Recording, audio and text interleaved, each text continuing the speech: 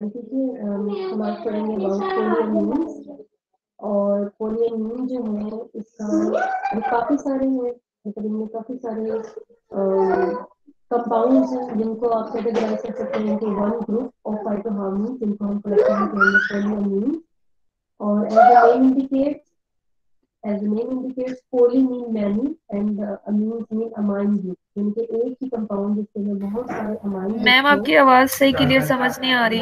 आगे खोली जा रही है। बहुत कम आवाज़ आ रही है।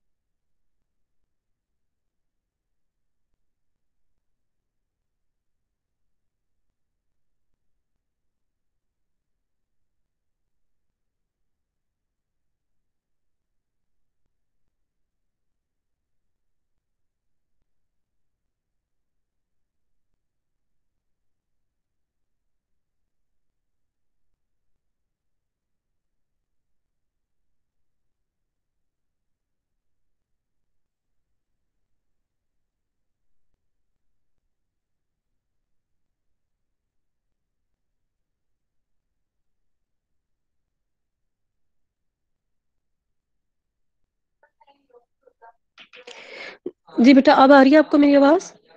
यस मैम अब क्लियर हेलो यस मैम अब क्लियर है। ओके एक्चुअली वो कम हाँ माइक दूसरी तरफ़ था इस वजह से नहीं आ रही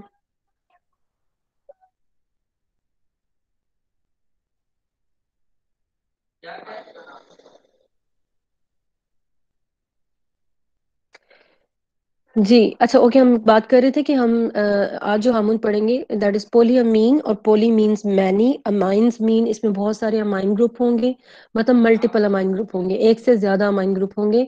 और इस वजह से इसका नाम जो है वो पोलियमीन है। It's kind of new hormone मतलब न्यूली डिस्कवर्ड हार्मोन्स में आप इसको कैटेगराइज कर सकते हैं। ओल्ड uh, वन जो है हम पढ़ चुके हैं जिनमें सब जिन पे बहुत ज़्यादा काम हुआ है ऑल इस पे भी बहुत काम हो रहा है। uh, लेकिन uh, इनसे पहले जो डिस्कवर हो चुके हैं वो हमने पढ़ लिए हैं। जैसे कि जिब्रालिक एसिड है ऑक्सिन है इथिलीन है एप्सिथिक एसिड है साइटोकाइनिन है, जिन पे काम भी बहुत ज़्यादा हुआ है और उनको आप कह सकते हैं कि कंपैरेटिवली ये फ़र्स्ट एट फ़र्स्ट जो डिस्कवर हुए हैं हार्मोन्स उनमें ये आते हैं। पोलियमीन्स जो है, ये न्यू जो हार्मोन्स न्यूली डिस्कवर्ड हार्मोन में से एक है। इसके अलावा जो हार्मोन आपके सिलेबस में शामिल है, जो कि न्यू में न्यू की लिस्ट में शामिल है, उनमें हमारे पास ब्रेसिनोस्टेरॉइड है सेलिसिलिक एसिड एंड जैस्मोनेट्स हैं। तो ये चार अब हमारे पढ़ने वाले रहते हैं, जिसमें से आज हम पढ़ रहे हैं पोलियमीन पोलियमीन्स को अगर आप देखें तो इसके आगे लिखा भी हुआ है कि चार तरह के पोलियमीन्स हैं जिनको आप कह सकते हैं कि ये एज फार्टो हार्मोन्स के तौर पे ये एक्ट कर सकते हैं। जैसे पुट्रीसिन है इसमें स्पर्मिडीन है स्पर्मिन है कैडवरीन है। इसका मतलब ये है कि पोलियमीन एक जर्नल नेम है, एक ऐसे कंपाउंड के लिए जिसके अंदर मल्टीपल अमाइन ग्रुप्स हों, और उनमें से ये जो चार हैं ये ऐसे हैं जो कि प्लांट्स में एज फाइटो हार्मोन के तौर पे एक्ट कर सकते हैं। देन uh, उसके अलावा अल्फ़ा टोकोफिरोल है। टोकोफिरोल uh, वैसे भी इंपॉर्टेंट है। आपको पता है कि ये एंटीऑक्सीडेंट के तौर पे भी काम करता है। वाइटामिन uh, ई के नाम से आप इसको जानते हैं। हमारे ह्यूमन बॉडी में भी इसका बड़ा रोल है। और जो ऑक्सीडेटिव स्ट्रेस है उसको उसके अगेंस्ट इसका बड़ा रोल है। फ्यूजिकॉक्सिन है देन ये भी न्यू हार्मोन की लिस्ट में शामिल है। ट्राइकोकॉन्टिनोल है ये भी प्रोमोटर के तौर पे फ्यूजिकॉक्सिन भी प्रोमोटर के तौर पे जो है ये आ, सामने आए हैं। टर्गोरिन्स भी हैं इनमें और बाटासिन्स भी हैं। इसके अलावा ये नहीं है कि सिर्फ़ यही है न्यूली डिस्कवर्ड हार्मोन फिर लॉन्ग लिस्ट जो कि या तो ऑलरेडी मौजूद जो हार्मोन्स हैं उन्हीं के डेरिवेटिव्स हैं और अलहदा से कोई एक खास किस्म का फिजियोलॉजिकल रोल कर सकते हैं और उनको भी आप फाइटो हार्मोन की कैटेगरी में डाल सकते हैं।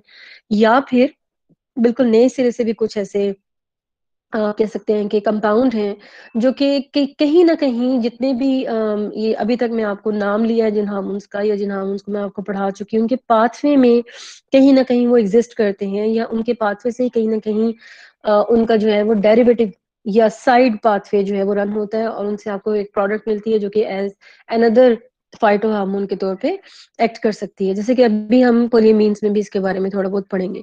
तो let's start this topic polyamine as I told you it's those hormone और कंपाउंड विच पोजेसेस टू और more than two amino groups and these are the polyvalent cation भी आप इनको बोल सकते हैं। पॉलीवेलेंट कैटाइन मतलब ऐसे कैटाइन जिनके अंदर मल्टीपल पॉजिटिव चार्ज और आपको पता है ना कि अमाइनो एसिड में पॉजिटिव चार्ज जो है वो अमाइन ग्रुप पे होता है और नेगेटिव चार्ज जो कार्बोक्सी ग्रुप पे होता है। तो मल्टीपल कैटाइन कंपाउंड्स और जिनके अंदर दो या दो से ज़्यादा अमाइनो ग्रुप्स मौजूद हो, ज़ाहिर है उसी वजह से वो पॉलीवेलेंट होंगे। यानी कि मल्टीपल वैलेंसी वाले कैटाइन होंगे। और ओवरऑल पोलियमीन्स को मैंने आपको बताया अभी जैसे कि इसमें आप कई तरह के पोलियमीन हैं मतलब ऐसे जिनके अंदर दो अमाइन ग्रुप हैं, जैसे कि पुट्रेसिन है, ऐसे जिनके अंदर तीन अमाइन ग्रुप हैं, जैसे कि स्पर्मिडीन है, और ऐसे जिनके अंदर चार अमाइन ग्रुप्स है, यानी कि स्पर्मीन है। और अब अगर आप इसके स्ट्रक्चर फार्मूला को भी देखेंगे ना तो वो भी एक दूसरे से मिलते जुलते ही है। मतलब एक में एक ही लॉन्ग चेन है, उसके साथ एक अमाइन ग्रुप है, दो अमाइन ग्रुप है, तीन अमाइन ग्रुप है, और इसी तरीके से उसकी साइड चेन्स लगती जाएँगी, और आपके पास जो है वो न्यू हार्मोन जो है पोलियमीन जो है वो बनता जाएगा। Uh, they occur as uh, free cation or as conjugate with phenolic acids and micromolecules के साथ ये conjugation करके और या फिर फ्री फ्री हार्मोन के तौर पे फ्री कंपाउंड के तौर पे भी ये एक्ट कर सकते हैं um, काम भी इसका बहुत ही इंटरेस्टिंग है जो कि जब मैं इसके फिजियोलॉजिकल रोल आपको बताऊँगी तो मैं आपको समझाऊँगी and their levels increase greatly in response to environmental stresses most notably under the potassium deficiency and water deficient and saline stress. अगर आप इन तीनों को स्ट्रेसेस को देखें ना आपस में तो ये एक दूसरे से इंटरलिंक्ड है। यानी कि वाटर डेफिशिएंट प्लांट जब होता है या वाटर डेफिशिएंट कंडीशन को जब वो फेस करता है तो एक्चुअली वाटर डेफिशिएंट तभी होता है जब उसमें पोटाशियम की भी साथ में डेफिशिएंसी हो रही होती है, तभी वो वाटर डेफिशिएंट कंडीशन को या ड्राउट की कंडीशन को फेस करता है। एंड इसी तरीके से सेलेंटी स्ट्रेस में भी आप कह सकते हैं कि प्लांट जो है वो एक्सेसिव सॉल्ट तो ले ही रहा होता है लेकिन उसके साथ साथ वो ड्राउट स्ट्रेस का भी लिटिल बिट ड्राउट स्ट्रेस का भी सामना कर रहा होता है क्योंकि वो एक्सेसिव um, सॉल्ट होने की वजह से इन द सॉइल वो प्रॉपर वाटर की जो इनटेक है बॉडी में वो नहीं हो रही होती। दे ऑल्सो यानी जो वाटर जिस न्यूट्रन कंसंट्रेशन के साथ उसको चाहिए सैप चाहिए, वो उस तरह नहीं मिल रहा होता, उससे ज़्यादा जो है कैटाइंस एनाइंस जो है, उसके साथ उसकी अपटेक हो रही होती है, जिसकी वजह से वो उसके लिए हार्मफुल हो जाता है, बजाय इसके बेनिफिशियल होने के।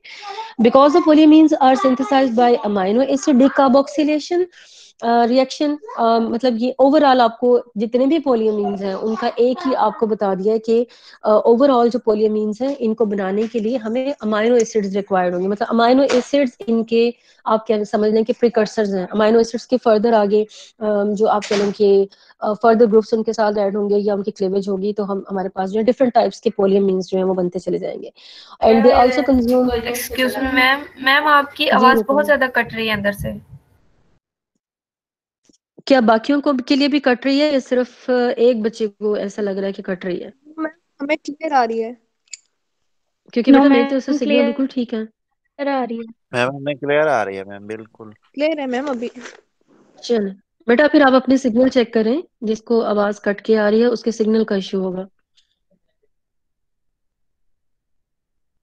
जी तो polyamines are synthesized by amino acid decarboxylation यानी कि अमाइनो एसिड्स में से ही अगर आप कार्बन डाइऑक्साइड वाला ग्रुप जो है, जिस जो कि उसका कार्बोक्सिलिक ग्रुप है, उसको अगर आप रिमूव कर दें और तो पोलीअमीन की जो है वो कहते हैं कि अकामुलेशन स्टार्ट हो जाती है प्लांट बॉडी में और ये फ़ंक्शन करती है as homeostatic mechanism homeostatic mechanism का तो पता होगा आपको, यानी कि हम जो जानदार हैं, चाहे वो प्लांट्स हैं, चाहे वो एनिमल्स हैं, चाहे वो कोई भी जानदार जो है एनिमल्स हैं या बर्ड्स हैं तो क्या होता है कि इनमें हम हम इन्वायरमेंट में रहते हैं और आउटर इन्वायरमेंट में आपको पता चेंजेस आती रहती हैं।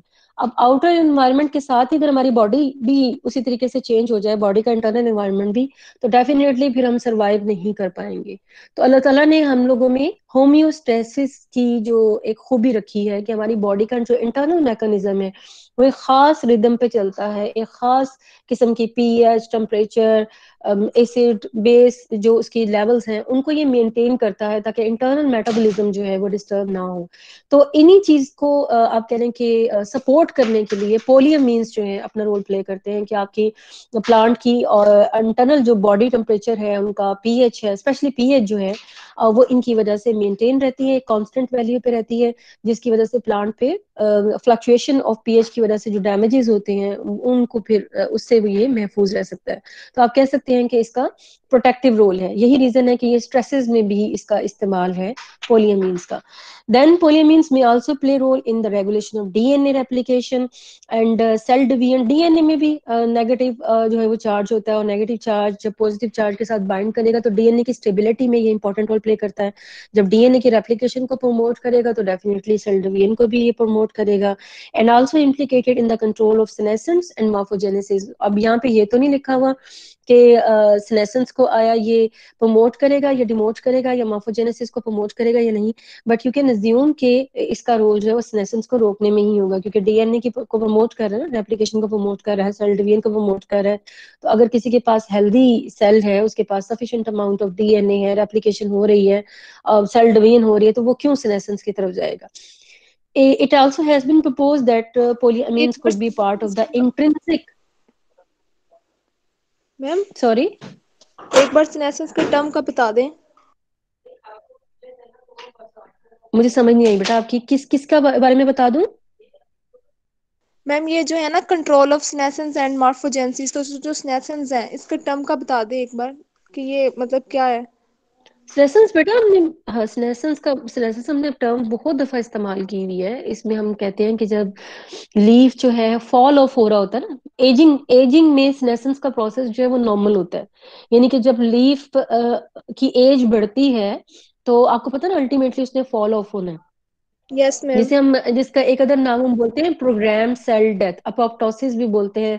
प्रोग्राम सेल डेथ तो प्रोग्राम सेल डेथ की तरफ़ जब कोई भी इंडिविजुअल जाता है या कोई भी ऑर्गेनिज्म जाता है या कोई भी सेल जाता है तो उसके अंदर से फिर जो उसके इम्पोर्टेंट न्यूट्रिएंट है इम्पोर्टेंट कंपाउंड्स हैं, वो वहाँ से प्लांट चाहता है कि वहाँ से वो रिमूव हो जाए ताकि जब उसने फॉल ऑफ़ होना है तो वो उसके साथ ना चले जाए। ठीक है? तो क्या होता है? क्लोरोफिल की डिग्रेडेशन स्टार्ट हो जाती है। वहाँ से पोटासियम वगैरह जो हैं वो वहाँ से रिमूव होकर दूसरी जगह पे जाना शुरू हो जाते हैं। तो ये जब ओवरऑल ये प्रोसेसेस होते हैं ना तो इस प्रोसेस को हम बोलते हैं ये स्नेसेंस हो रही है ठीक है? स्नेसेंस हो रही है। तो स्नेसेंस का मतलब है आप ये समझने कि ये आ, आ, कि अगर किसी भी प्लांट पार्ट में हो रही है तो ये उसको उसकी डेथ की तरफ़ लेके जाएगी फॉल ऑफ़ होने की तरफ़ लेके जाएगी। तो उसको ये कंट्रोल करता है उसको ये रोकता है। It has been propose that polyamines could be part of the intrinsic signalling network of extra cellular matrix जो आपकी सेल वॉल वाली जगह है ना वो जब कम्युनिकेट करते विद अदर सेल्स तो उस कम्युनिकेशन में one cell to cell communication में जो है, ये पोलियोमीन जो है, ये पार्ट प्ले करते हैं. They also serve as the precursor of several classes of alkaloids alkaloids जो है, आप, अगर आपको इसकी डेफिनेशन पता है तो अल्कोलाइड्स हम ऐसे कंपाउंड्स को कहते हैं. मतलब अल्कोलाइड की डेफिनेशन ही ये है कि ऐसे कंपाउंड जिनके अंदर नाइट्रोजन मौजूद हो. और ओवरऑल अगर आप मेडिसिनल पॉइंट ऑफ़ व्यू से देखें तो अब वो भी आप फेमिलियर होंगे कि अल्कोलाइड जो है काफ़ी सारी मेडिसिन में यूज़ होते हैं और अल्कोलाइड जो वो सेकेंडरी डिफेंस में भी इस्तेमाल होते हैं। कहने का मकसद ये है कि ओवरऑल जब हम अल्कोलाइड एक ले मैम को बताते हैं कि अल्कोलाइड क्या है तो हम कहते हैं कि एक ऐसा कंपाउंड जिसके अंदर नाइट्रोजन मौजूद हो और ह्यूमन में उस, उसको जब ह्यूमन उसको यूज़ करें उस कंपाउंड को तो कोई ना कोई उनके ऊपर इफ़ेक्ट है अच्छा बुरा कुछ भी। ठीक है? तो दैट इज़ वाई इन अल्कोलाइड्स को हम मोस्टली uh, यानी जितने भी अल्कोलाइड्स हैं इनको ये मेडिसिनल पॉइंट ऑफ़ व्यू से इंपॉर्टेंट कंपाउंड है। और इनकी के प्रिकर्सर्स यानी कि इनको बनाने वाले जो हैं वो अक्सर पोलियमीन्स जो हैं, वो होते हैं। और ये आगे लिखा भी हुआ है कि किन किन साइंटिस्ट ने इसका जो है वो कहा है कि ऐसा ही है। और आप फर्दर इसको इंटरनेट पे डाल के तो इनकी डिटेल जो है डिटेल पेपर खोल के तो उसको देख सकते हैं कि फर्दर इनके बारे में वो क्या कहते हैं और क्या इसकी डिटेल है। So they may also play important roles in plant defence against Harbi ये बात भी मैंने पहले आपको बताई भी कि जो अल्कोलाइड्स हैं सेकेंडरी मेटाबोलाइट्स हैं, इनका काम क्या होता है कि प्लांट्स अपनी अंदर कुछ ऐसे टेस्ट डेवलप कर लेते हैं कि ताकि हबी वो जब उनको खाएँ तो वो उनको कड़वा लगे, वो उनको बिटर टेस्ट उसका लगे, ताकि वो उसको ना खाएँ। ठीक है? तो ये उनके डिफेंस का एक मैकेनिज्म है, जिसके ज़रिए वो अपनी आप को हर्बीवोर्स से बचाते हैं। तो वो जो बिटर टेस्ट है या वो जो डिफेंस है that is because of the presence of alkaloids और अल्कोलाइड्स की जो प्रिकर्सर्स हैं, वो हैं पोलियमीन तो यू कैन से कि ये डिफेंस में और हर्बीवोर्स के अगेंस्ट डिफेंस में प्लांट को ये हेल्प करते हैं डिज़ीज़ को क्योर करने में हेल्प करते हैं ह्यूमन में।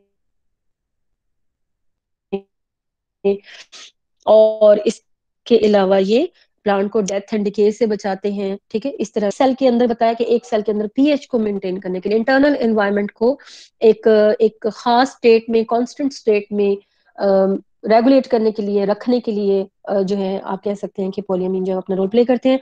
और रीजन मैंने आपको बता दी कि इनके ऊपर पॉजिटिव चार्ज होता है, और वो क्यों होता है? क्योंकि इनके पास मल्टीपल अमाइन ग्रुप्स हैं।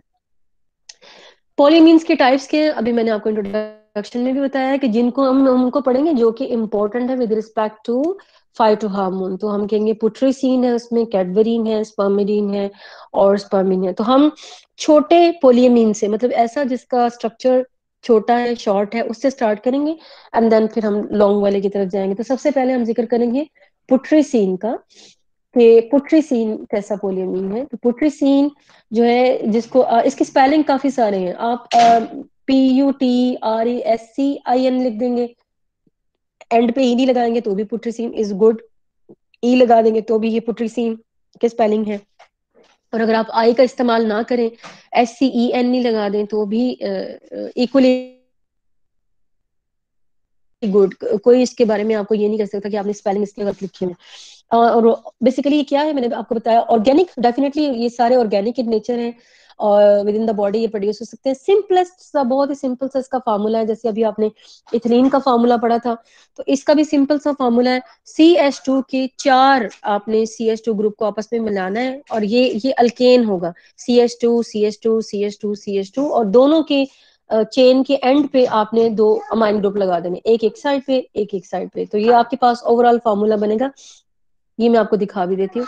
N H two C H two C H two C H two C H two C H two N H two तो सिंपल एक फोर कार्बन कंटेनिंग चेन है, जिसके दोनों साइड्स पे एक एक अमाइन ग्रुप लगा हुआ है तो this is putrescine okay formula इसका वेरी सिंपल है और स्मेल इसकी जो है it's it's having the smell of rotting flesh जैसे गलता है तो उसकी स्मेल आती है, बिल्कुल वैसे ही पुट्रेसिन की जो है, वो भी स्मेल होती है। पुट्रेसिन की स्मेल भी बिल्कुल वैसी ही आती है। Then it is also related to cadaverine क्योंकि कैडबरीन और पुट्रेसिन में बहुत ज़्यादा फ़र्क नहीं है। अगर मैं अभी आपको कैडबरीन का फॉर्मूला दिखाऊँ तो आप भी समझ लें कि हम ये साथ साथ ही पढ़ रहे हैं। उसकी भी वैसे जो स्मेल है काफ़ी आप कह लें कि गंदी होती है। खैर, मैं जब उसके रिलेटेड पढ़ाऊँगी तब मैं आपको ज़्यादा बताऊँगी। तो ये देखिए कैडबरीन का formula simply we have added one more C H two group यानी कि पहले चार थे, अब आप इसको पाँच कर दे। One two three four and five और अगेन दोनों साइडों पे अगर आप एन एच टू लगा देंगे तो you have the formula of cadaverine तो कैडवरीन और पुट्रिसिन ये दोनों एक दूसरे से रिलेटेड ही कंपाउंड है, लेकिन पुट्रिसिन की एज प्लांट हार्मोन के तौर पे जो है मैं ये समझती हूँ कि पोट्रेसिन की वैल्यू ज़्यादा है as compared to cadaverine. Cadaverine के बारे में साइंटिस्ट जो है वो डाउटेड ही हैं कि आया ये इसकी कोई इम्पोर्टेंस है भी इतनी कि नहीं। तो बेसिकली पुट्रिसिन की ज़्यादा है। So putrescine is synthesize in small quantities by healthy living cells by action of ornithine decarboxylase mechanism के ज़रिए। किसी भी सेल में ये रेगुलर मेटाबॉलिज्म का हिस्सा है कि उसमें ये पुट्रिसिन लाजमी प्रोड्यूस होता है। And this is the polyamine of which the putrescine is one of the simplest and appears to be the growth factor यानी कि ऐसा, ऐसी चीज़ जो कि ग्रोथ को ग्रोथ को प्रमोट कर रही है and necessary for the cell division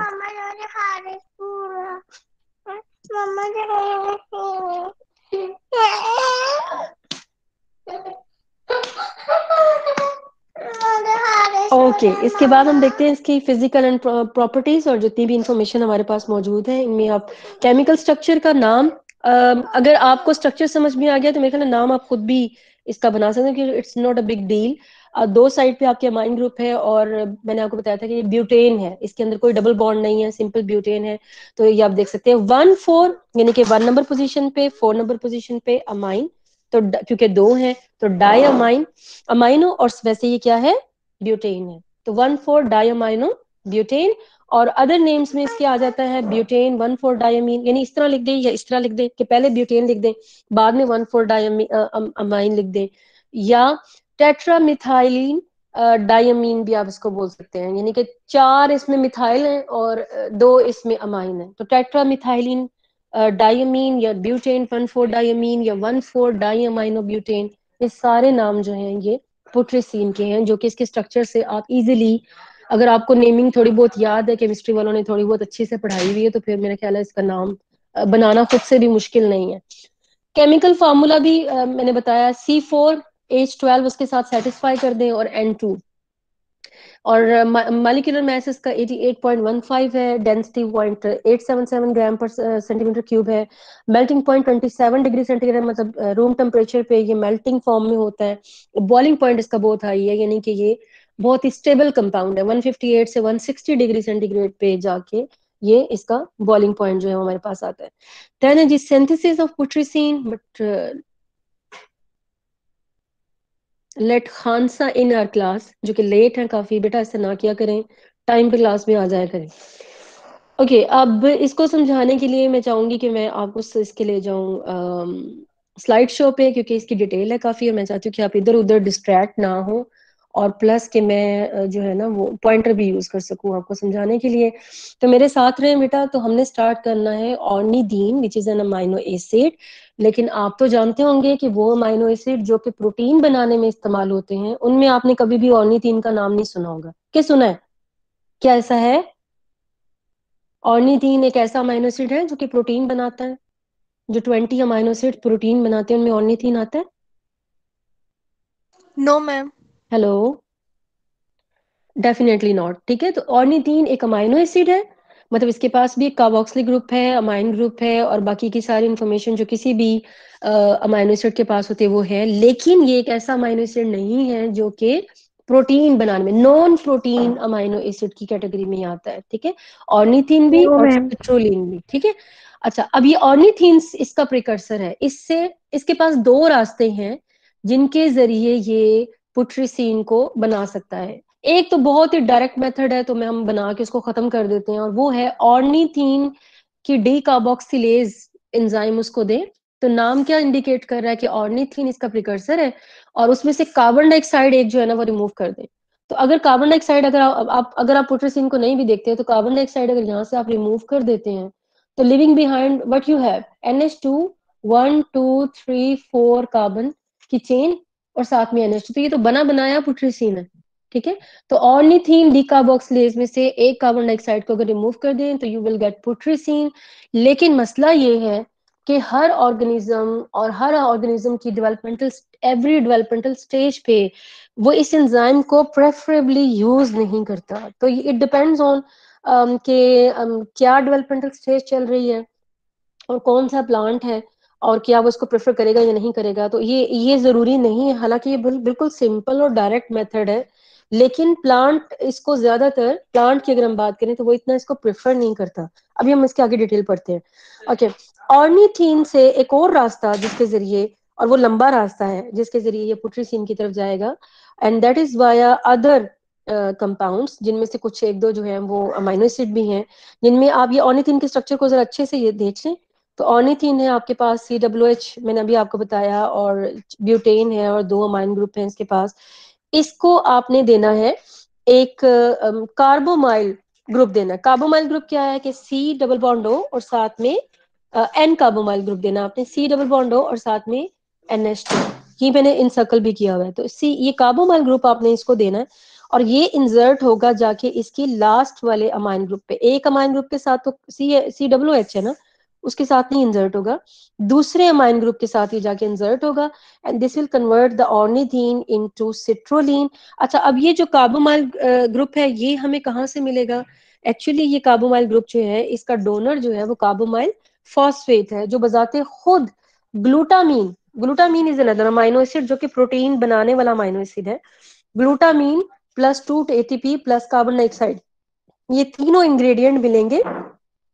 तो आपके पास जो चीज़ बनेगी, वो साथ में बनेगी ग्लूटामेट ठीक है? साथ में टू में एक पी साथ में एक P I will leave as a you can say side product और उसके साथ जो आपको मिलेगा दैट इज़ कार्बोमाइल फॉस्फेट और कार्बोमाइल फॉस्फेट जो है, इसमें से ये जो इंसर्कल किया हुआ हिस्सा है, ये इंसर्ट होगा एट दिस पोजिशन तो you will get citrulline which is another amino acid but non protein amino acid है ये भी।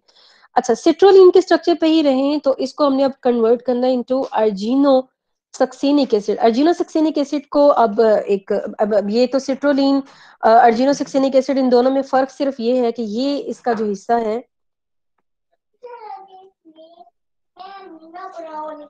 ये जो हिस्सा है ये हमें इंसर्ट करना है। ये ये एक और हमें एक साइड चेन चाहिए। अगर ये बन में इसके साथ मिल जाएगी यहाँ पे एक तो यहाँ पे एन लगाना है इस ओ को रिप्लेस करके एन लगाना है, और उसके साथ फिर एक जो है वो ये साइड चेन अगर आपको याद हो तो ये फ्यूमरेट सक्सीनेट ये वो वाले, ये उसी का कंपाउंड है। आप समझें कि ये सक्सीनेट है, ठीक है? सक्सीनिक एसिड और उसको हमने अटैच करवाना है सिट्रोलिन के साथ।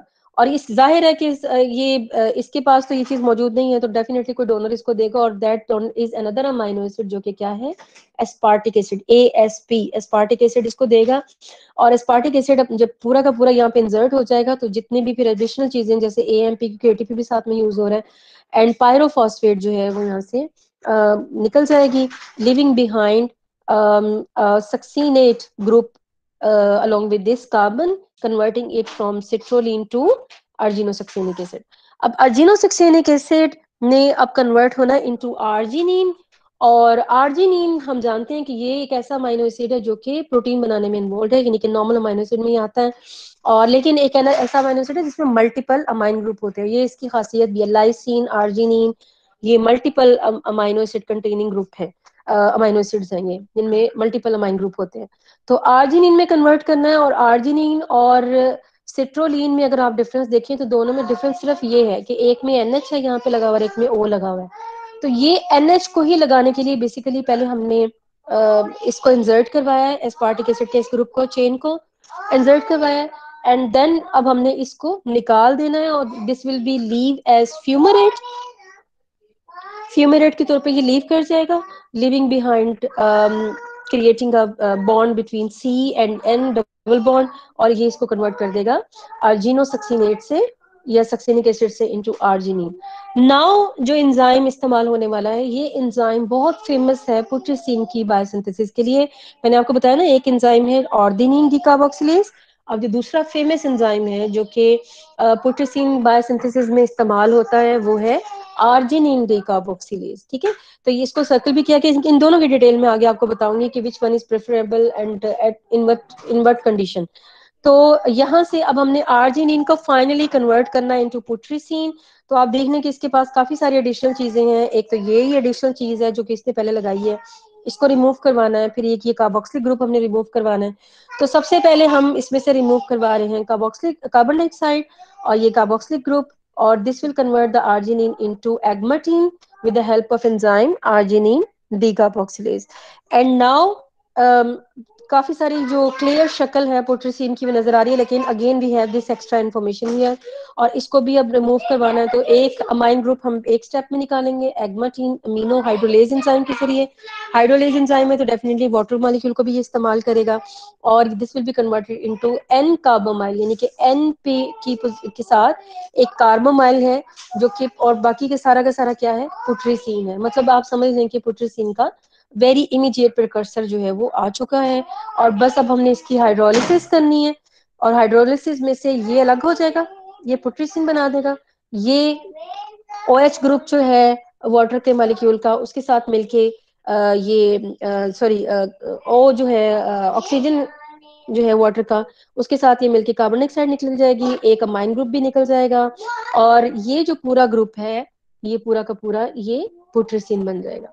अच्छा अब यहाँ पे एक साइड इंफॉर्मेशन भी है कि ये जो कार्बन डाइऑक्साइड और अमोनिया जो रिलीज़ हो रही है इस रिएक्शन के दौरान, ये अमोनिया यूरिएज एंजाइम से भी, के ज़रिए भी रिमूव हो सकते हैं। यानी यूरिया को अगर आप डिग्रेड करते हैं ना यूरिएज एंजाइम से तो भी वो कार्बन डाइऑक्साइड बनाती है और साथ में अमोनिया बनाती है। अगर आपको आइडिया हो तो नाइट्रोजन साइकिल में आप पढ़ते हैं आर्टिफिशियल मेथड जो है यूरिया बनाने के उसमें उसमें ये रिएक्शन इन्वॉल्व होता होगा कि अमोनिया को कंप्रेस करके देन यूरिया बनाया जाता है इसी तरीके से यूरिया को डिग्रेड करके भी अमोनिया जो है उसमें से रिलीज़ हो सकती है।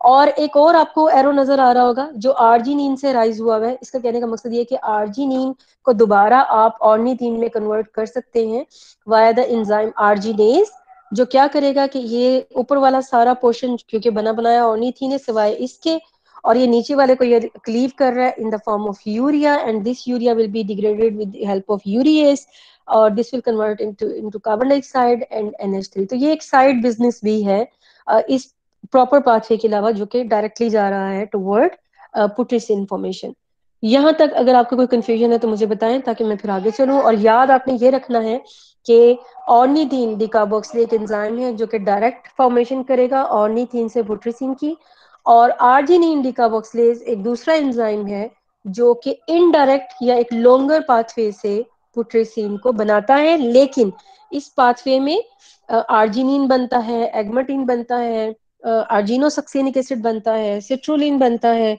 तो और तरह की अमाइनो एसिड भी बनते हैं। मतलब ना सिर्फ़ ये पुट्रिसिन को बना रहा है, बल्कि ये दूसरे अमाइनो एसिड की फॉर्मेशन में भी हेल्प कर रहा है यू कैन से तो अब टिल नाउ अगर आपको कोई कंफ्यूजन कोई क्वेश्चन हो तो आप बता दें।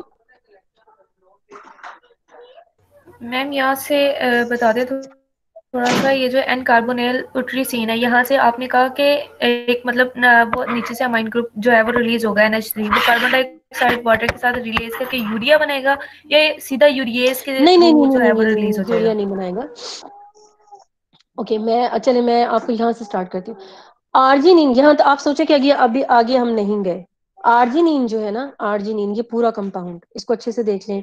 कार्बोक्सिलिक ग्रुप है इसके पास ये अमाइन है वन टू थ्री फोर इसमें ये कार्बन की चेन है फिर एन एच है फिर एन एच सी और एन एच टू ये ग्रुप ये जो ग्रुप है दिस ग्रुप ये ही एक्चुअली ये अगर गौर करें आप ये देखिए N H N H two और सी डबल बॉन्ड ये ये सारा वही है। सिवाय इसके कि यहाँ पे आ, ये आ, जो है यहाँ पे वो रिप्लेस हो गया है ये डबल बॉन्ड ओ के साथ ठीक है?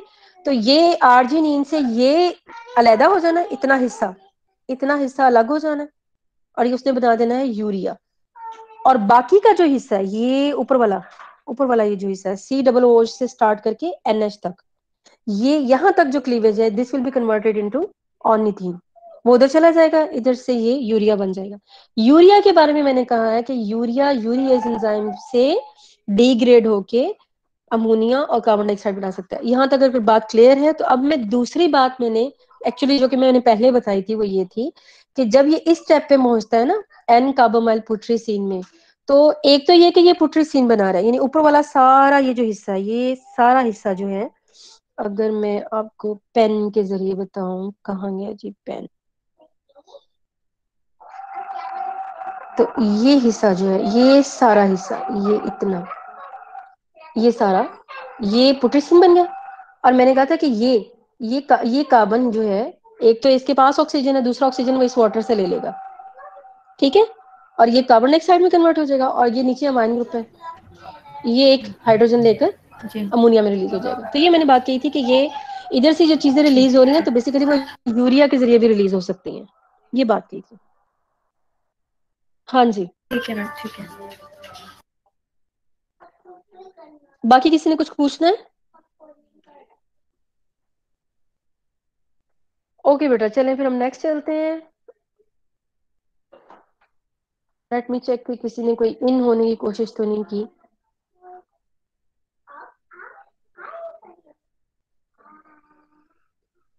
ये भी निक, निकम्मे बच्चे भी साथ साथ है ना। मैं निकम्मे ही कहूँगी ज़ाहिर है। आप लोग तंग कर रहे हैं ड्यूरिंग क्लास जो है। ओके okay, अब हम ये जो इम्पोर्टेंट डिस्कशन है कि आर्जिनिन डिकाबोक्सिलेज कहाँ पे इस्तेमाल होगा और ऑर्निथीन डिकाबोक्सिलेज कहाँ पे इस्तेमाल होगा? तो सबसे पहले हम वो जो लॉन्गर रूट वाला एंजाइम है आर्जिनिन डिकाबोक्सिलेज उसके बारे में हम पढ़ें कि this is present in chloroplast it is an enzyme which is abbreviated as ADC arginine decarboxylase and it's a chloroplast localized enzyme. और कब ये बनता है? ये क्योंकि ज़ाहिर है, ये तो है नहीं कि हर वक्त ये बने हुए हैं, ये दोनों एंजाइम ये भी प्रोटीन है तो किसी जीन से ही बनेंगे। तो this is induced by a variety of stresses जिसमें से ज़्यादा जो नोटेबल स्ट्रेस है वो पोटासियम की डेफिशिएंसी यानी आप यूँ कह सकते हैं कि पोटासियम की डेफिशिएंसी जब प्लांट में होती है, यानी वो वो ड्राउट के स्ट्रेस की तरफ़ जा रहा होता है तो उस टाइम पे फिर आप कह सकते हैं कि आर्जिनिन रिकाबोक्सिस एंजाइम जो है, ये बनता है और फिर ये अपना काम शुरू करेगा। और क्या काम शुरू करेगा? पुट्रेसिन को बनाएगा। And is thought to be enzyme primarily responsible for environmental stresses और ना सिर्फ़ पोटासियम डेफिशिएंसी में इसका रोल है, बल्कि ये दूसरे इन्वायरमेंटल स्ट्रेसेस जिसके बारे में शुरू में मैंने आपको बताया था, जैसे कि ड्राउट का स्ट्रेस है सॉल्ट का स्ट्रेस है पोटासियम की डेफिशिएंसी तो हमने अभी बात भी, दोबारा भी कर ली है। तो इनमें भी ये अपना रोल जो है वो प्ले करता है।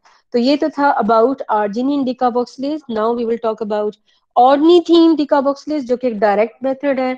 ऑर्निथीन से सिंपली डिकाबोक्सिलेशन करवाएँ और यू विल गेट पुट्रीसिन और ये जो एंजाइम है, ये पाया जाता है साइटोसोल में। तो आर्जिनिन डिकाबोक्सिलेज पाया जाता है क्लोरोप्लास्ट में और ऑर्निथीन डिकाबोक्सिलेज जो है it's a cytosolic localized enzyme ठीक है? साइटोसोल में ये पाया जाता है। और जैसे इसको हमने एडीसी से रिप्रेजेंट किया था, इसको हम ओडीसी से जो है वो रिप्रेजेंट करेंगे। And it is propose to be the little importance in stress induce this one is important कि स्ट्रेस जब प्लांट फील करता है तो वो ऑर्निथीन डिकाबोक्सिलेज के ज़रिए पोट्रिसिन नहीं बनाता, वो आर्जिनिन डिकाबोक्सिलेज को प्रेफर करता है, ठीक है? And but it may be critical in regulation of developmental process लेकिन जो नॉर्मल डेवलपमेंटल प्रोसेस चल रहे होते हैं प्लांट के, अपने नॉर्मल स्ट्रेस के अलावा तो उसमें ये ऑर्निथीन से प्लांट प्रेफर करता है कि वो ऑर्निथीन से पुट्रिसिन की सिंथेसिस करे। मतलब नॉर्मल जब हालात चल रहे होते हैं तो ऑर्निथीन से पुट्रिसिन बन रही होती है, और जब उसके ऊपर प्लांट के ऊपर कोई स्ट्रेस आता है तो वो फिर आर्जिनिन पुट्रिसिन डिकाबोक्सिलेज के ज़रिए पुट्रिसिन को बनाने को प्रेफर करता है। Increased putrescine biosynthesis catalyzed by catalyzed by uh, ornithine decarboxylase promotes the embryogenesis in carrot ये एक बहुत ही uh, अच्छी एग्जांपल यहाँ पे बताई हुई है कि कैरेट में उन्होंने क्या किया है कि माउस का ऑर्निथिन डिकाबोक्सिलेज लेकर ना माउस का यानी कि एक ऑर्निथिन डिकाबोक्सिलेज जो माउस में पुट्रिसिन बना रहा है उस एंजाइम को लेकर उसका कॉम्प्लीमेंट्री डीएनए बनाया और उसको ट्रांसफॉर्म कर दिया है कैरेट्स के सेल्स में। ठीक है? गाजर के सेल में लगा दिया है चूहे का जो है, आप कह लें कि कॉम्प्लीमेंट्री डीएनए और वो वो कॉम्प्लीमेंट्री डीएनए क्या है? वो एक्चुअली ऑर्निथिन डीकाबोक्सिलेज एंजाइम को बनाने वाला, आप समझने के जीन है, जो कि वन जेड की है। ठीक है? अच्छा उससे क्या हुआ कि उन्होंने उन्होंने देखा कि जिन कैरेट के सेल में ऑर्निथिन डीकाबोक्सिलेज जो कि माउस से जनरेटेड था, उसको उन्होंने डाला तो उन्होंने देखा कि उसमें पोट्री सीन का जो कैटाबोलिज्म है कैटाबोलिज्म uh, समझते हैं ना uh, कि उसकी डिग्रेडेशन जो है दैट हैज़ बीन इंक्रीज उसमें इजाफा हुआ because of the insertion of the ODC generated from mouse and levels of the putrescine are higher in drought tolerance wheat इसके अलावा एक और एग्ज़ाम्पल है जो कि वीट प्लांट में दे रहे हैं कि ये देखा गया है कि जो प्लांट वीट के ड्राउट को रेजिस्ट कर सकते हैं ड्राउट में विथ स्टैंड कर सकते हैं ड्राउट को सहार सकते हैं उनमें देखा गया है कि पुट्रीसिन के लेवल्स जो है वो ज़्यादा पाए जाते हैं मतलब ज़्यादा मिकदार में वो होता है। तो आप कह सकते हैं कि पुट्रीसिन क्योंकि वहाँ पे ज़्यादा मौजूद है तो उसका रोल है जिसकी वजह से वो वहाँ पे ज़्यादा प्रोड्यूस हुआ है। प्लांट पागल तो नहीं है ना कि एक ना फ़ायदेमंद चीज़ के लिए या एक गैर फ़ायदेमंद चीज़ के लिए वो अपनी सारी एनर्जी वेस्ट करके तो उस चीज़ को कमुलेट करना शुरू कर दे। डेफिनेटली वो उसी चीज़ को कमुलेट करेगा जिसका उसको फ़ायदा होने वाला है। तो अगर वो ड्राउट के स्ट्रेस में एक प्लांट उसको अकोमोलेट कर रहा है तो ये उसकी पॉजिटिव कोरिलेशन बता रहा है कि ड्राउट के स्ट्रेस में प्लांट पुट्री सीन को अकोमोलेट करता है ताकि वो ड्राउट को सहार सके। और वो साबित कैसे हुआ कि उन्होंने देखा कि जो उसी वीट की ससेप्टेबल वैरायटी थी, उसके अंदर ससेप्टेबल से मुराद कि जो ड्राउट के स्ट्रेस को सहार नहीं सकती, ठीक है? टॉलरेंट जो सहार सकती है और ससेप्टेबल जो नहीं सहार सकती।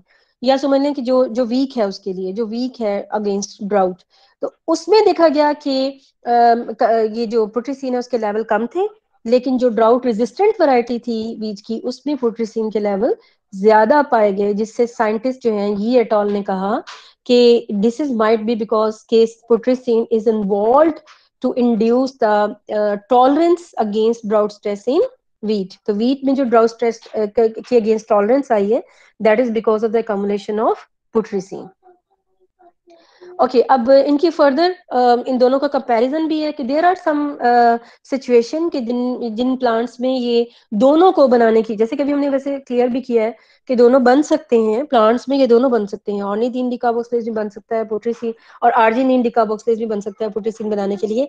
लेकिन कोनाइजा uh, बुनेरियंसिस में ये देखा गया है कि दोनों का जो प्रोडक्शन करने का टाइम uh, है दैट इज़ डिफरेंट जैसा कि वो कह रहे हैं कि कोनाइजा बनेरियंसिस में उन्होंने देखा है कि जब सिर्फ़ प्लांट दो वीक्स का होता है ना, जब प्लांट उगने के बाद जर्मिनेट करने के बाद, जब सिर्फ़ दो वीक्स का होता है तो उस टाइम पे सिर्फ़ आर्जिनिन डिकाबॉक्सिलेज होता है, जो पुट्रिसिन बनाने के लिए इस्तेमाल हो रहा होता है।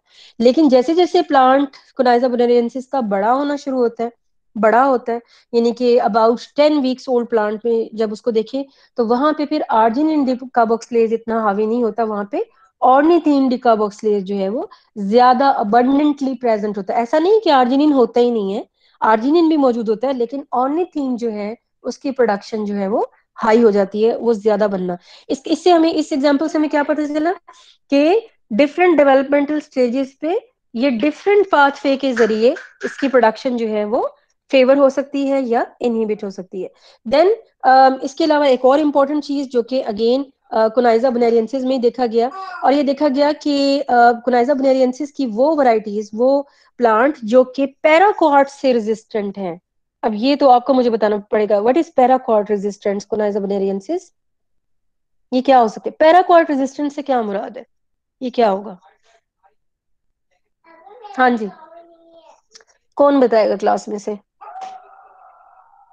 अब आप लीव ना करना शुरू कर देना। वैसे तो मुझे लग रहा है कि काफ़ी सारे बच्चे वैसे ही जा चुके हैं। क्यों भाई? Mahfuzul Haq what is paraquat on your mic Mahfuzul Haq सोए हुए हो कि क्लास ले रहे हो? जी बेटा। ये हालात चेक कर अपने। वीट किलर है। वीट किलर मैम ये केमिकल है जो वीड्स को किल करता है। आ... मुझे तो यही पता है। हाँ ठीक है ठीक है किसी हद तक ठीक है। लेकिन आप मुझे फिजियोलॉजी के रेफरेंस से बताया ना इसका क्या रोल है? वीट को कैसे किल करता है ये? जी महफूज लगा आपका दोस्त भी ज्वाइन कर चुका है तो क्या आप बताना पसंद करेंगे? क्या आप मौजूद भी हैं क्लास में कि नहीं? ये देख लें, ये ये काम करना है और फिर जब पेपर होने हैं, और किसी खुशफहमी में ना रहना कि पेपर आपके जो है ना वो ऑनलाइन होने हैं किसी खुशफहमी में मत रहना। ज़्यादा से ज़्यादा ऑनलाइन हुए तो शायद मिड हो जाएँगे। इससे ज़्यादा कुछ नहीं होने वाला आपके साथ। तो वो जो सारी आपने पहले चलाकियाँ मारी है ना नंबर लेने के लिए, और दूसरी बात ये कि इस दफ़ा पेपर मैं सोच के बनाऊँगी। और मेरी सोच का मतलब पता है ना क्या होता है? सोच के।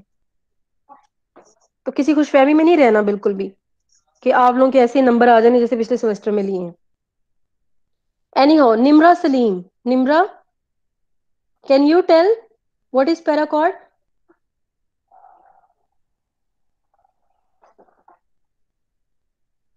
Maimoona Azeem Javeria तो चलीजिए जल्दी जल्दी मैडम, मुझसे ना कोई क्वेश्चन पूछ लें। हाँ जी। बहुत ही गलत बात है बेटा।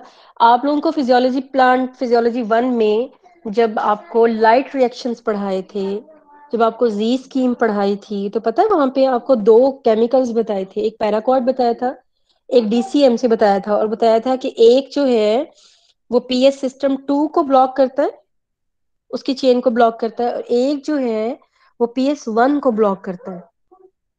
इफ़ यू रिमेम्बर तो जब जी स्कीम की वो जो चेन है इलेक्ट्रॉन ट्रांसपोर्ट चेन अगर वो ब्लॉक होगी तो डेफिनेटली फोटोसिंथेसिस होगी कि नहीं होगी? नहीं होगी ना? क्यों हुमा? कुछ याद आया? यस yes, मैम नहीं होगी। जी मैम जी। हाँ जी। तो ये ये क्या कह रहा है कि ये जो कुनाइजा बुनेरियंसिस है उसमें देखा गया कि पैराकॉट रेजिस्टेंस मतलब जब पैराकॉट केमिकल का डालें तो ये आगे से रेजिस्टेंस करता था मतलब उसको अपना काम नहीं करने देता था। और साइंटिस्ट ने ये ये टॉल ने देखा कि ये ये किस तरह उसने सर अंजाम दिया, किस तरीके से उसने पैराकॉट के अगेंस्ट और रेजिस्टेंस दिखाई कि उसने कहा this is because the accumulation of putrescine and because कि उसने पुट्रीसीन ने पैराकॉट की अपटेक ही मतलब मीडियम में पैराकॉट था, लेकिन कुनाइजा बुनेरियंसिस को उसकी अपटेक ही नहीं करने दी, उसको रेजिस्ट किया कि वो ना इन साइड द प्लांट आए और ना ही वो फिर उसको डैमेज कर सके। तो this is because of the accumulation और द प्रोडक्शन ऑफ़ पुट्रीसीन जिसने इसको पैराकॉट के अगेंस्ट है वो रेजिस्टेंट बनाया। तो ये भी स्टडी से हमें पता चलता है कि ये प्लांट को डैमेजेस से और ऑक्सीडेटिव स्ट्रेस से और डेफिनेटली उसकी इंटेग्रिटी से रिलेटेड जितनी भी बातें हैं उनको ये सपोर्ट करती हैं ये सारी एग्जांपल्स जो हैं। देन अगेन ऑल ने सजेस्ट किया दैट पुट्रीसीन एंड अदर जितने भी पॉलीमीन्स हैं जी। मैम इसमें अगर पुटनेसिन होगा और वो पैराकोइड को मतलब इनहिबिट कर देगा तो वहाँ पर भी फोटोसिंथेसिस तो ऑब्वियसली बहुत हाईली मतलब ठीक डेवलपमेंट में होंगी। यस ऑफ़ कोर्स मैं यही तो बता रही हूँ कि पुट्रीसिन मौजूद है मीडियम में लेकिन वो प्लांट को नुकसान नहीं पहुँचा पा रही। ठीक है? प्लांट को नुकसान नहीं पहुँचा पा रही। तो होना तो ये चाहिए था ना कि पैराकॉट आता तो प्लांट को की डेथ हो जानी चाहिए थी या उसकी फोटोसिंथेसिस मुतासिर होनी चाहिए थी और अल्टीमेटली ग्रोथ मुतासिर होनी चाहिए थी लेकिन ऐसा नहीं हुआ। ठीक है? तो इससे ये टॉल ने इस इन एक्सपेरिमेंट से सजेस्ट किया कि पुट्रीसीन और अदर जितने भी पोलियमीन्स हैं वो किस तरीके से काम करते हैं कि वो डायरेक्टली और indirectly as a free radical scavengers हैं। मतलब वो वो चीज़ें जो कि डैमेज कर सकती हैं मेम्ब्रेन को या स्ट्रक्चर ऑफ़ द आप कह लें कि फ़ोटो सिस्टम के स्ट्रक्चर को या ओवरऑल जितनी जो भी मेम्ब्रेन की इंटेग्रिटी के लिए रिक्वायरमेंट है उनमें ऑक्सीडेटिव जो हम कहते हैं ना ऑक्सीडेटिव स्ट्रेस आ रहा है तो बेसिकली वो फ्री रेडिकल प्रोड्यूस करता है। तो अगर फ्री रेडिकल को स्केवेंज कर लिया जाए हाँ जी। मैम ये फिर डिफेंस के तौर पर ही काम कर रहे हैं ना? कि वो अगर yes, बिल्कुल डिफेंस के तौर पे काम कर रहे हैं। बिल्कुल डिफेंस के तौर पे काम कर रहे हैं। आप समझे कि पैराकॉट एक बीमारी है। यस मैम ठीक है और तो उसके अगेंस्ट ये काम कर रहा है। ये ये काम कर रहे हैं। हाँ जी ऐसा ही है। तो ये काम कैसे करते हैं? बेसिकली ये ओके वैसे मुझे अभी शो नहीं हुआ लेकिन मैं लगा देती हूँ। तो इससे हमें क्या पता चलता है कि जितने भी पॉलीमीन्स हैं या पुट्रीसीन है ये कैसे काम करते हैं कि ये जो फ्री रेडिकल्स हैं उनको ये स्केवेंज करते हैं और इस वजह से ये प्लांट को फिर डैमेज नहीं होने देते। ये प्लांट की प्रोटीन्स को और उसकी इंटेग्रिटी को उसकी मेम्ब्रेन को वो डैमेज नहीं होने देते जिसकी वजह से वाइटल प्रोसेसेस जो हैं वो मेंटेन रहते हैं। तो आप कह सकते हैं कि इस तरीके से ये प्लांट में डिफेंस के तौर पे ये काम करते हैं। ओके okay, नेक्स्ट हमारे पास है जी इसके रोल तो क्योंकि मैंने आपको बताया ना कि वैसे तो इतना न्यूली डिस्कवर भी नहीं रहा। बहुत सारे अभी इस पे चल भी रहे हैं काम। और लेकिन ये कि हमारे अपने एक दो टीचर्स हैं जो केस पे काम करवा रहे हैं स्पर्मिडीन को लेके काम करवा रहे हैं। इसी तरीके से मैंने पिछले साल भी एक बच्ची को, मैंने नहीं दिया था मैम, आसमा को हमने एक जॉइंट वेंचर किया था, उसमें हमने गाबा पे काम किया था। अभी गाबा का ज़िक्र आएगा नेक्स्ट वीक तो और अभी भी मेरी एक बच्ची जो है, वो गाबा जो है, वो लेकर, it's you can say side pathway जो है पोलीमीन का, उससे ये बनता है। आगे मैं आपको जाके दिखाऊँगी। तो उस पर काम कर रही हैं। तो अभी भी मतलब कि ये न्यूली डिस्कवर्ड हार्मोन में अभी भी बहुत ज़्यादा इंफॉर्मेशन हमारे पास इसकी नहीं है। तो सम ऑफ़ द इंफॉर्मेशन जो है, उनको यहाँ पे समराइज किया गया है। एंड डेफिनेटली जैसे मैं आपको हमेशा बताती हूँ कि इसका हरगिज ये मतलब नहीं है कि अगर कोई लाइन लिखी हुई है तो उसको आप जेनरलाइज कर लें। वो जिस प्लांट के लिए लिखी गई है वो उसी प्लांट के लिए है क्योंकि उसी प्लांट के ऊपर उसकी स्टडी की गई है। उसको अभी आप जेनरलाइज नहीं कर सकते जब तक उसकी जो स्टडी है वो वॉस्ट ना हो जाए या वो मल्टीपल प्लांट्स के ऊपर ना हो जाए तब तक आप उसको जेनरलाइज नहीं कर सकते। ठीक है? तो इसी हिसाब से ये ऑट में आ, कुछ एक्सपेरिमेंट्स हैं कुछ रेबिडोसिस थेनियाना में एक्सपेरिमेंट्स हैं एडीसी को लेकर। अब आप समझ सकते हैं एडीसी ओडीसी से क्या मुराद है। और इसी तरीके से ये नीचे जो ज़िक्र है, इसमें हमारे पास से ये टिश्यू कल्चर को लेके एग्जांपल्स हैं कि टिश्यू कल्चर में रीजनरेशन की कैपेसिटी को मेंटेन करने के लिए क्या है। तो ये इस तरीके से इनकी जो, इसमें ओवरऑल सिर्फ़ पुट्रीसिन का ज़िक्र नहीं है, इसमें स्पर्मिन स्पर्मिडीन उनकी इंपॉर्टेंस के बारे में भी लिखा हुआ है कि कैसे वो जो है वो प्रमोट कर सकते हैं पुट्रीसिन को या दूसरे पोलियमीन को। ओके okay, इसके बाद हमारे पास जो नेक्स्ट पोलियमीन आता है दैट इज़ कैडबरीन बहुत ही लिटिल इन्फॉर्मेशन है इसके बारे क्योंकि मैंने आपको बताया। वी आर स्टिल डाउटेड कि आया इसको हमें कंसिडर भी करना चाहिए एज प्लांट ग्रोथ रेगुलेटर या कि कि ये वाकई में है या नहीं है। तो फार्मूला मैं आपको इसका पहले ही बता चुकी हूँ। स्मेल इसकी फाउल स्मेलिंग होती है। Molecules produce by the protein hydrolysis during the putrefaction of animal tissue जब उसकी डेथ एंड डिके हो रहा होता है। तो वो जो आपको एक गंदी स्मेल जैसे कुछ जानवर कहीं मरा हुआ हो तो आप, जब रास्ते से गुजरते हैं तो आपको पता चलता है कि यहाँ पे इस तरह की स्मेल है। तो that's because of this the production of the cadaverine and this is also toxic diamine ये एक ऐसा डायमीन है जो कि पुट्रिसिन नहीं है टॉक्सिक ये टॉक्सिक है डायमीन और फॉर्मूला इसका वेरी सिंपल है। वहाँ पे जो थे, चार थे ये सी एच टू यहाँ पे पाँच हैं, पहले मैं आपको बता चुकी हूँ। It is so in this way it is very similar to putrescine and it is also known as one five penta di pentane diamine यानी कि पेंटी वहाँ पे था ना ब्यूटेन था, यहाँ पे पेंटेन है। ठीक है? तो बाकी वही है। वो ब्यूटेन डायमीन था, ये पेंटेन डायमीन है।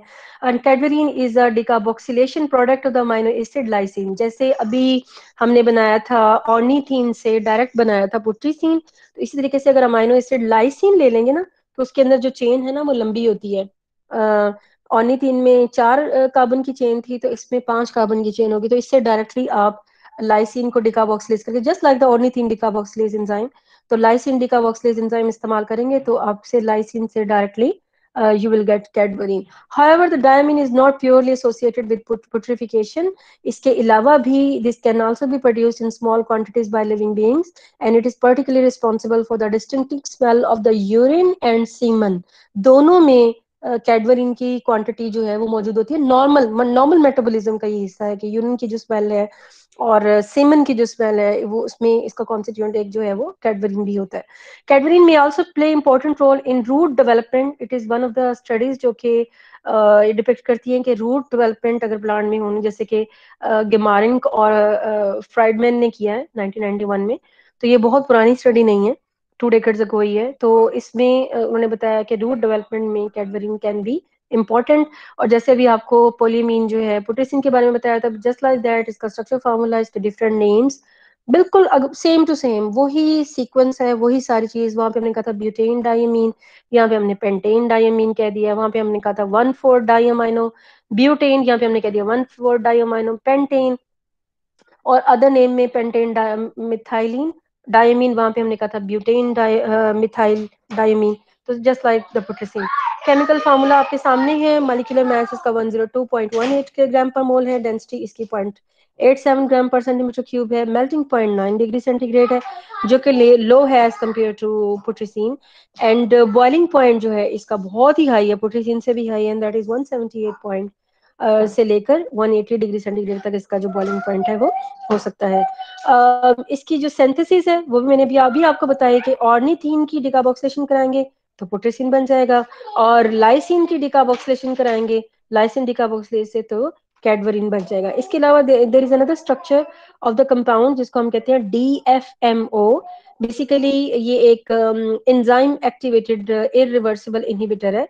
यानी कि इस इस केमिकल को इस्तेमाल करते हुए ये आप एंजाइम को इरिवर्सिबली इसको इनहिबिट करवा सकते हैं डीएफएमओ के साथ, कि वो पुट्रीसिन की बायोसिंथेसिस ना कर सके। मतलब पुट्रीसिन की बायोसिंथेसिस के लिए क्या रिक्वायर्ड है? और ऑर्निथिन डिकाबॉक्सिलेट तो अगर अगर मीडियम में डीएफएमओ होगा तो वो ऑर्निडीन डिकाबॉक्सिलेट को इरिवर्सिबली मतलब ऐसा नहीं है कि एक दफ़ा डीएफएमओ ने उसको रोक दिया और उसके बाद जैसे वो जाएगा तो ये मतलब एक दफ़ा जिस एंजाइम को इसने डीएक्टिवेट कर दिया, दोबारा वो फिर नया एंजाइम बन के आएगा, वो एंजाइम दोबारा इस काबिल नहीं रहेगा कि वो ऑर्निथीन से फिर पोट्रीसिन बना सके। तो it's a kind of inhibitor compound यानी कि जो इनहिबिशन क्रॉस कर सकता है। और बाकी की सिंथेसिस जो है दैट्स वेरी सिंपल और जैसे मैंने आपको बताया कि इसका रोल जो है वो as a plant growth hormone के तौर पे इसको बहुत ज़्यादा इस पे स्टडीज़ जो है वो मौजूद नहीं है। So we are going to word a third polyamine that is the spermine और स्पर्मीन जो है ये बहुत ही मशहूर और मरूफ यू कैन से बहुत सारी स्टडीज़ जो कि पोलीमीन्स पे हुई हैं उनमें पोट्रीसिन है स्पर्मीन है और स्पर्मीडीन है, जिन पे ज़्यादा काम हुआ हुआ है और जिनको लेके लोग ज़्यादा काम करते हैं। स्पर्मिन क्या है? ये भी पोट्रीसिन की तरह पोलियमिन है। This is involve in cellular metabolism and that is found in all eukaryotic organisms form from spermidine क्यों ये स्पर्मिडीन से बनता है? क्योंकि स्पर्मिडीन और स्पर्मीन के दोनों के स्ट्रक्चर में भी आपको दिखाती हूँ। स्पर्मिडीन छोटा है और स्पर्मीन बड़ा है। मतलब पहले स्पर्मिडीन बनेगा और उसके बाद उससे स्पर्मीन बनेगा। तो let me show you the structure ताकि आपको इसकी ज़्यादा समझ आए कि मैं क्या बात कर रही हूँ। तो सबसे पहले मैं आपको स्ट्रक्चर दिखाती हूँ स्पर्मिडीन का। ये जी आपके पास स्ट्रक्चर स्पर्मिडीन का क्या है? इसमें वन टू थ्री फोर ये अगर आप देखें तो ये पुट्रीसीन का स्ट्रक्चर ही है, यहाँ तक। ये पुट्रीसीन और पुट्रीसीन के साथ आप एक एन के साथ एक साइड चेन जो है, और साइड चेन कितनी लंबी होनी चाहिए? Three carbon containing side chain आप लगा दें तो दिस इज़ परमिडीन ठीक है? यानी कि अब इसको आप नाम क्या देंगे? N three amino propyl N ये एन के साथ थ्री अमाइनो तीन नंबर पोजीशन पे अमाइन ग्रुप है, और वैसे प्रोपाइल है और वैसे ये क्या है? आगे पुट्रीसीन का नाम लिख दें या फिर वन फोर डायमीन ब्यूटेन लिख दें, ठीक है? या सिंपली आप ये भी लिख सकते हैं एन थ्री अमाइनो प्रोपाइल और आगे लिख दें पुट्रीसीन इट्स ओके ये वही बन जाएगा, ठीक है? तो ये इसका फॉर्मूला है। अच्छा मैं आप कह रही थी कि स्पर्मिडीन छोटा है स्पर्मिन बड़ा है। अगर ये एक एन के यहाँ पे प्रोपाइल ग्रुप लगा हुआ है तो ये स्पर्मिडीन है। अगर इसके दोनों साइड पे आप प्रोपाइल ग्रुप लगा देंगे तो this will be converted into spermine ये देखिएगा। अब यहाँ पे क्या है? वन टू थ्री फोर ये सेंटर में पुट्रीसीन है और वन टू थ्री ये एक प्रोपाइल ग्रुप है. वन टू थ्री ये दूसरा प्रोपाइल ग्रुप है. यानी दोनों तरफ़ प्रोपाइल ग्रुप लगा दिए तो स्पर्मीन बन गया और एक तरफ़ लगा देंगे तो स्पर्मिडीन बन गया. तो let us talk about first spermine के ये कैसा है? तो स्पर्मीन के बारे में कहा जाता है कि it's a polyamine which is involved in cellular metabolism just like the putrescine in all eukaryotic cells irrespective के वो प्लांट के सेल्स हैं या वो एनिमल्स के सेल्स हैं। जी बेटा। मैम स्पर्मीन के स्ट्रक्चर का नहीं पता चला दोबारा बता दीजिएगा। ये देखें पहले आप स्पर्मिडीन के स्ट्रक्चर को देख लें। पुट्रीसीन का स्ट्रक्चर यस मैम उसके साथ एक प्रोफ़ाइल की चेन ठीक है? अब आप स्पर्मीन का स्ट्रक्चर देखिए। पुट्रीसीन का स्ट्रक्चर सेंटर में और दोनों तरफ़ प्रोफ़ाइल की चेन यानी कि दो प्रोफ़ाइल की चेन लगाएँगे। यस मैम यस मैम ठीक है? एक को हम कहेंगे एन प्रोफ़ाइल और दूसरे कहेंगे एन प्राइम प्रोफ़ाइल तो एन एन प्राइम बिस यानी कि दो थ्री अमाइनो प्रोफ़ाइल लगी हुई है दो लगी हुई है और वैसे ये ब्यूटेन है और वैसे ये वन फोर पोजिशन पे डायमीन है। Butane one four diamine putrescine का दूसरा नाम है। तो सिंपली इस, इस इसकी जगह पे आप पुट्रीसीन भी लिख सकते हैं। N N prime bis three amino propyl putrescine ठीक है? It will be name of spermine तो मैं बात कर रही थी कि ये हर यूकैरियोटिक सेल्स की नॉर्मल सेलुलर मेटाबॉलिज्म का हिस्सा है स्पर्मिन में प्रोड्यूस होता है। It is form from spermidine ये भी मैंने बताया। अभी मैं आगे इसकी डिटेल भी बताऊँगी जब इसकी बायोसिंथेसिस करेंगे। It is also found in wide variety of organisms and tissues and it is an essential growth factor in some of the bacteria and it is also found uh, uh, as at physiological pH because we have multiple amine group here. As you can see, कि इसमें putrescine में दो थे स्पर्मिडिन में तीन थे और spermine में चार अमाइन ग्रुप लगे हुए हैं, दो एक तरफ़, दो एक तरफ़ तो इसके पास फिर चार ऐसी जगह हैं कि जहाँ पे पॉजिटिव चार्ज होगा तो डेफिनेटली ये फिजियोलॉजिकल पीएच को मेंटेन करने के लिए एज पोलिकेटाइन के तौर पे काम कर सकता है and it is also associated with nucleic acid just like the putrescine and thought to stabilize the helical structure and particularly the stabilization of helical structure in viruses it is आप ये देख लें कि it is also found in viruses हर तरह के organism में spermine जो है, ये बनता है। Crystal of the spermine phosphate were first described in 1678 लेकिन एट दैट टाइम मतलब डिस्कवर ये बहुत पहले हुए थे, लेकिन एट दैट टाइम ये नहीं पता था कि इसको आप एज प्लांट ग्रोथ रेगुलेटर के तौर पे भी आप इसको इस्तेमाल कर सकते हैं। तो ये नहीं इसमें वो इसका जो रोल है एज प्लांट ग्रोथ रेगुलेटर का रोल जो है वो बाद में डिस्कवर हुआ। तो वैसे ही as a compound spermine compound इसके क्रिस्टल जो है 1678 में बहुत पहले ह्यूमन के सीमन में एंटन लिवन हुक ने इसको वहाँ पे फ़र्स्ट टाइम ऑब्ज़र्व किया था। And the name spermine actually by the German chemist uh, Ledenberg and Abel in 1888 and the correct structure of spermine was not finally established until 1926 मतलब discover बहुत पहले हो चुका था लेकिन जो करेक्ट स्ट्रक्चर है कि एक्चुअली इसके अंदर क्या क्या चीज़ें होती हैं ये 1926 में आया and simultaneously England and Germany दोनों में डिफरेंट दो रिसर्च uh, ग्रुप्स ने एट अ टाइम इसका स्ट्रक्चर एक ही ईयर में डिस्कवर किया तो लिहाजा इसको शेयर किया जाता है कि दोनों को इसका सहरा जाता है कि दोनों ने एट अ टाइम एक ही वक्त में, इधर से एक ग्रुप उस पर काम कर रहा था, दूसरे से दूसरा ग्रुप काम कर रहा था तो दोनों ने एक ही वक्त में इसका जो स्ट्रक्चर है उसको डिस्कवर किया। देन uh, आगे जो है um, क्योंकि इनकी बायोसिंथेसिस एक दूसरे से कोरिलेट करती है दैट इज़ वाई साथ ही फिर स्पर्मिडीन का बता दिया गया है कि स्पर्मिडीन जो है it's a amine involve in cellular metabolism can be used as stimulate the enzyme T seven R N A polymerase आपको पता है ना आर एन ए पॉलीमरेज की काफ़ी टाइप है? टी फोर है टी थ्री है तो T seven R N A polymerase जो है Uh, वो कहते हैं कि इसको ये स्टिमुलेट करता है। Spermidine a type of the RNA polymerase inhibit करता है न्यूरोनल नाइट्रिक ऑक्साइड सिंथेस, उसको ये इनहिबिट करता है बाइंड और प्रेसिपिटेट करता है डीएनए को may be use for purification of the DNA binding proteins and also stimulate the T four polynucleic kinase activity को जो है ये भी प्रमोट करता है। T four nucleic kinase activity polynucleotide kinase activity यानी कि उनकी फास्फोराइलेशन करवाने में ये हेल्पफुल है टी फोर पोलिन्यूक्लियोटाइड को।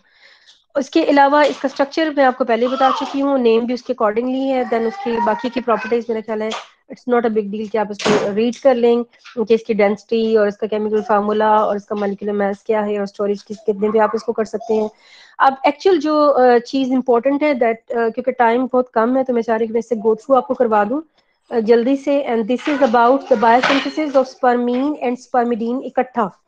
क्योंकि मैंने आपको बताया कि पहले इसी बायोसिंथेसिस के ज़रिए स्पर्मिडीन बनना है और फिर उसी से एक साइड चेन लगनी है और बनना है स्पर्मीन, ठीक है? तो ये मेरे साथ रहिएगा, इसको मैं स्लाइड शो पे लेके जा रही हूँ।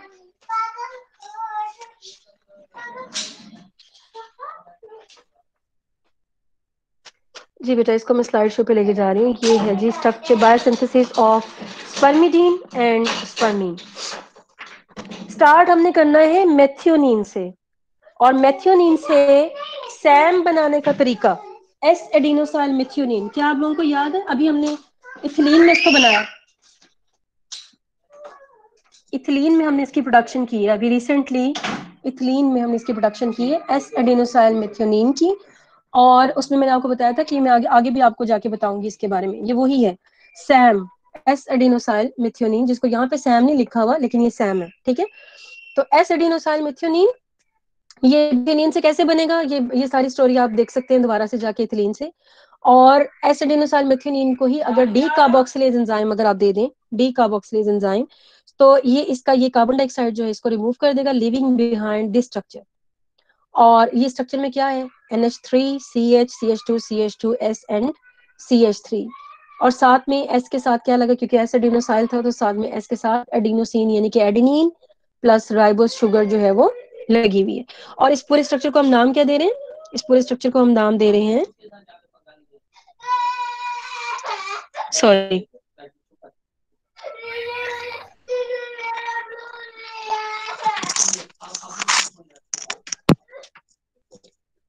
जी बेटा, ये है हमारे पास डी डिकार्बोक्सिलेटेड इसको हम कहेंगे, क्योंकि आप देखें कि इसमें और इसमें ज़्यादा फ़र्क नहीं है। इसमें कार्बन डाइऑक्साइड मौजूद है, इसमें कार्बन डाइऑक्साइड नहीं तो हम इसको बोलेंगे डी डिकार्बोक्सिलेटेड एडिनोसाइल मिथियोनिन, जिसको Ado M E T, A D O M E T से रिप्रेजेंट किया गया।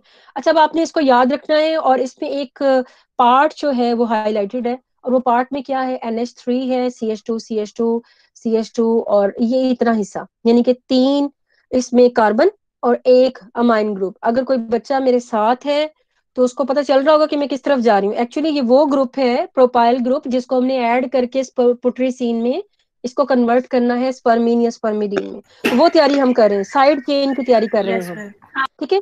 तो ये साइड चेन है इसकी तैयारी हमने कर ली ये बन चुका है। अब हमने बनाना है पुट्री सीन जिसके साथ हमने इसको ऐड करना है। तो पुट्री सीन की बेटा मैंने अभी सेंथेसिस आपको बताई है वो अब, अब हम यहाँ से स्टार्ट करेंगे। ऑर्निथीन ऑर्निथीन से डीकाबॉक्सिलेज करके पुट्रीसीन बनाया। अच्छा नाउ पुट्रीसीन में हमने एक ये प्रोपाइल चेन ऐड कर देनी है बाकी का हिस्सा रिमूव हो जाएगा। यानी कि उसको हम लिख देंगे कि ये ये देखिए लिखा हुआ है। C H three S adenosyl ये ये इतना हिस्सा रिमूव हो जाएगा। और एंजाइम कौन सा है? प्रोपाइल अमाइनो ट्रांसफिरेज वन यानी कि प्रोपाइल एक ऐसी प्रोपाइल जिसके साथ एक अमाइनो लगा हुआ है और उसको ट्रांसफ़र करवाने वाला एंजाइम जो कि कहाँ ट्रांसफ़र करवा रहा है? पुट्रीसीन की एक अमाइन ग्रुप के साथ इसको ट्रांसफ़र करवा रहा है। तो अब ये किसमें कन्वर्ट हो गया? पुट्रीसीन प्लस ये ग्रुप एंजाइम है propyl amino transferase and this will be converted from putrescine to spermidine. Now um, it's very easy. दोबारा भी यही एंजाइम इस्तेमाल होगा लेकिन we will call it put, uh, propyl amino transferase 2 again procedure same है अब हमने पुट्रीसिन की बजाय स्पर्मिडीन में एक और प्रोपाइल ग्रुप ऐड कर देना है तो वही अगेन उसको यूज़ करेंगे इस इस चेन को। और दिस टाइम पुट स्पर्मिडीन के साथ एक और उसके दूसरी जगह पे लगा देंगे। तो this will be converted from spermidine to spermine in this way you will get putrescine, then spermidine, and then spermine. और हर एक में जो नाइट्रोजन का नंबर है और कार्बन का नंबर जो है, वो बढ़ता चला जाएगा। पहले वाले में दो कार्बन दो नाइट्रोजन थे, दूसरे में तीन हो गए और तीसरे में यू कैन सी हियर एक, दो और दो पुट्रिसिन के चार अमाइन ग्रुप जो हैं, वो इससे बन चुके हैं। अगर आप इसको और सिंप्लीफाई करना चाहें, जो कि मैं प्रेफर कभी नहीं करवाती कि आप, इस वाले को ले, लेकिन there are some information which is present here जैसे कि जो amino propyl amino transferase one enzyme है it is also known as spermidine synthase it is also known as spermidine synthase ठीक है? इसी तरीके से जो propyl amino transferase two enzyme है this is also known as spermine synthase ठीक है? तो जो पिछली पिछली वाली जो डायग्राम है ना, उसी पे आप ट्रांसफरेज वन के साथ ब्रैकेट में लिखते हैं स्पर्मिडीन सिंथेज और ट्रांसफ़र टू के साथ आप लिख दें स्पर्मीन सिंथेज तो ये यहाँ पे बाकी की सारी इंफॉर्मेशन इसको सिंप्लीफाई करके दिखाया हुआ है पुट्रीसिन उसके साथ ये decarboxylated SAM at decarboxylated SAM उसमें से ये ग्रुप निकल रहा है और this will add this group here and with convert the putrescine into spermidine and then spermidine को अगर एक और आप चेन दे देंगे प्रोपाइल चेन तो this will convert the spermidine to spermine और ये उसका आप यूँ समझ लें कि उसका दोबारा से दूसरा पाथवे है।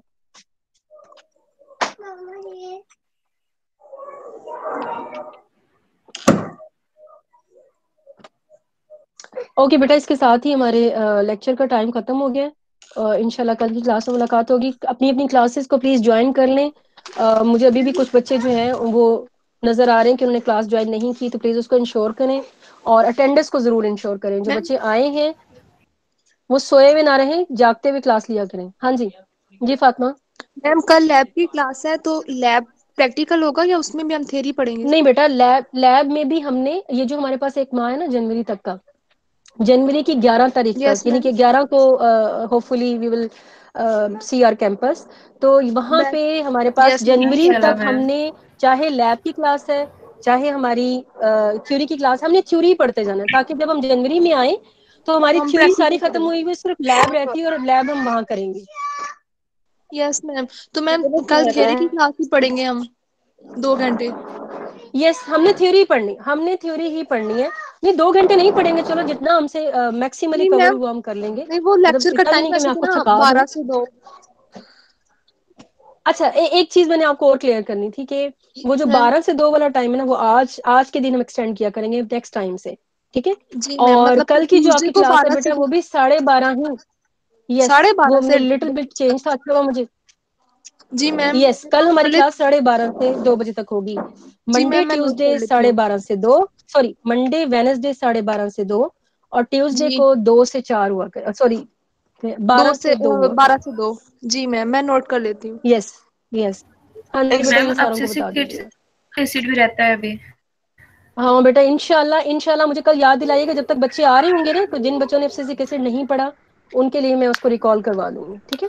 मैम मुझे याद करवाइएगा पहले वो और कल मैम वो जो आपने हमें जी मैम जी मैम उसमें जो आपने हमें एन टी और आर वगैरह किए थे वो हमने सर से भी पूछे थे लेकिन वो सर को भी पता नहीं चला तो आप खुद ही बता दीजिएगा हमने सर्च भी किया लेकिन मुझे वो नहीं समझ आई।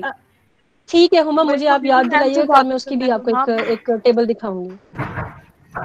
जी सारिश बोले। जी मैम। मैम वो मेरी ना क्लासेस का क्लैश आ रहा है मैम मंडे की क्लास का। मंडे क्लास का क्या क्लैश आ रहा है? मैम ग्यारह से साढ़े बारह आपकी भी क्लास है और सर नवीद